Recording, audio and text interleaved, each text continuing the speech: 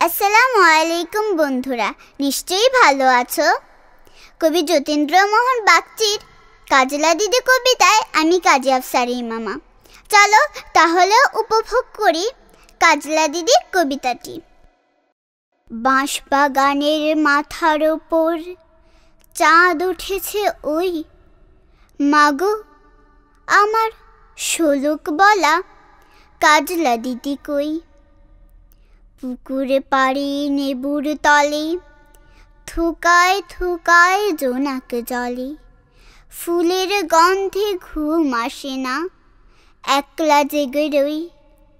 মাগো, আমার কোলের কাছে কাজলা দিদি কই? সেদিন হতে কেন মার? দিদিরে না ডাকো, দিদির কথায় আঁচল দিয়ে মুখটি কেন ঢাকো?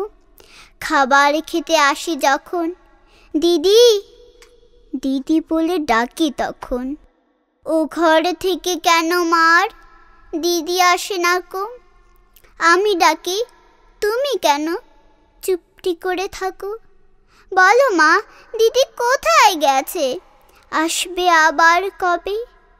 কাল যে আমার নতুন ঘরে পুতুল বিয়ে হবে। দিদির মতো ফাঁকি দিয়ে আমিও যদি লুকোই গিয়ে তুমি তখন একলা ঘরে কেমন করে রবে?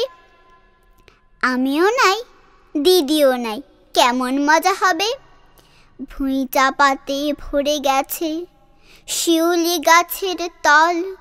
মারাস নে মা, পুকুর থেকে আনবে যখন জল। ডালিম গাছের ডালের ফাঁকে বুলবুলিটা লুকিয়ে থাকে।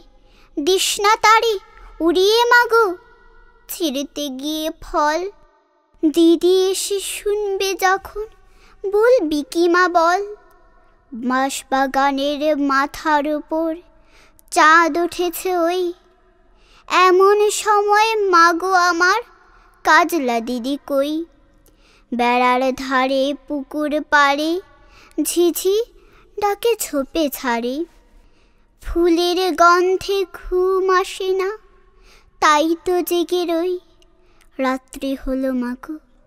আমার কাজলা দিদি কই? সকলকে ধন্যবাদ। আল্লাহ হাফেজ। আসসালামু আলাইকুম।